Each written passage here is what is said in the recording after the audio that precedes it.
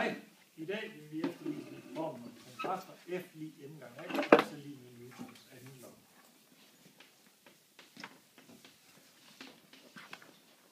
F, force, kraft, M, masse, A, acceleration. I det her tilfælde vil vi bruge tyngdeaccelerationen, som formen til at hedde Ft er lige M gange G, hvor G er tyngdeacceleration, og den er lige med 9,82 meter per sekund. Og F, den måler vi med i en øh, kraftmåler, som ser sådan her ud. Og så finder vi et par objekter, vi kan måle.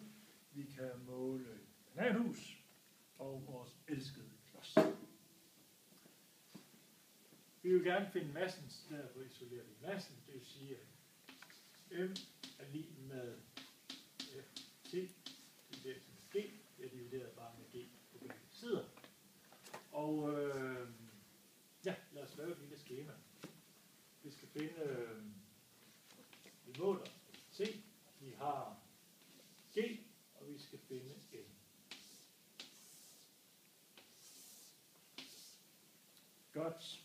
Vi ved G 2 meter per sekund i anden. Det samme her.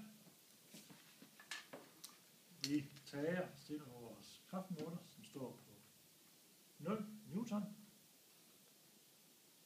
Måler vi stille over, hvor meget har. Og så finder vi ud af, at vi nok skal have en anden kraftmåler. Den her. Og vi kan se, at kraften kommer ned på på hvor meget?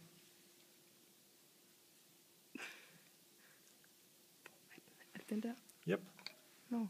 Øh, øh, 7,8. 9, 7. Ja, hvad? 7,7. En newton. Yep.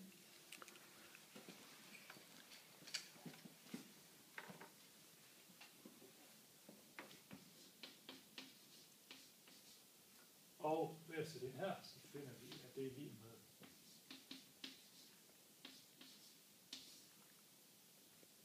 divideret med tyngdekraften, som er cirka 10 meter per sekund i anden, og det er lige med 0,8 kilogram.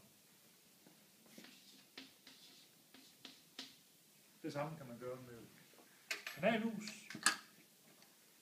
Men øh, jeg håber, jeg har forstået pointen nu.